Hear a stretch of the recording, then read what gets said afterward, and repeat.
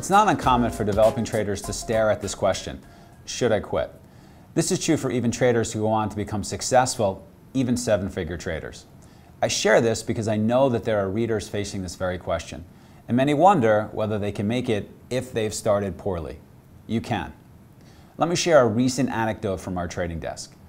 Recently, a developing trader at our firm asked to speak with me about whether he should continue. He was coming near the end of his personal funds. He wanted to know if the firm would help him financially if necessary. More importantly, he asked me whether I thought he should continue.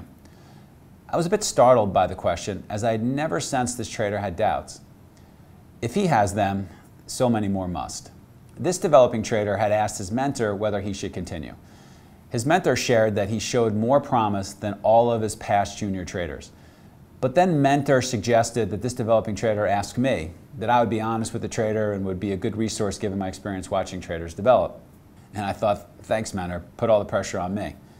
I reviewed the developing trader's results, and they had been mostly flat overall. You could see internal pressure to make money infecting certain months and causing progress to wane. Importantly, you could see growth prior to these periods and then the waning. He contributed importantly to his team. He loved trading. He fit in well with the firm culture. He was well positioned to improve with an outstanding trading mentor. More for form than substance, I discussed this trader with the partners for agreement to approve firm resources for trader. The partners quickly and unanimously agreed.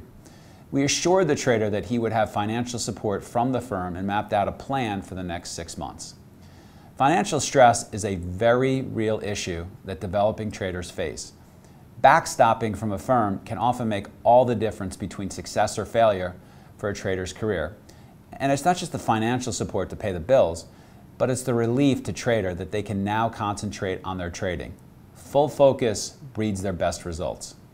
Fast forward to this month, and Trader's having his best month to date. A month, in fact, that clearly shows he has the ability to succeed and sustain as a professional trader. These are the very real discussions that occur at a professional prop firm. These are the very real challenges that developing traders face. Many do find solutions and go on to have lasting and rewarding trading careers.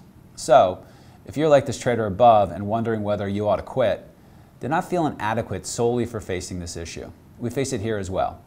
And some come through on the other side to become winning traders. Happy Thanksgiving to all. We'll talk to you soon.